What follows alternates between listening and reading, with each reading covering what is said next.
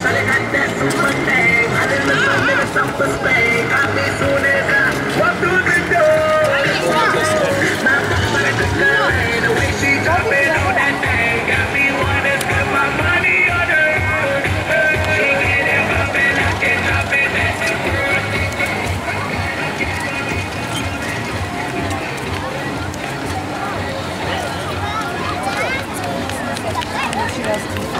Ну, день за тут.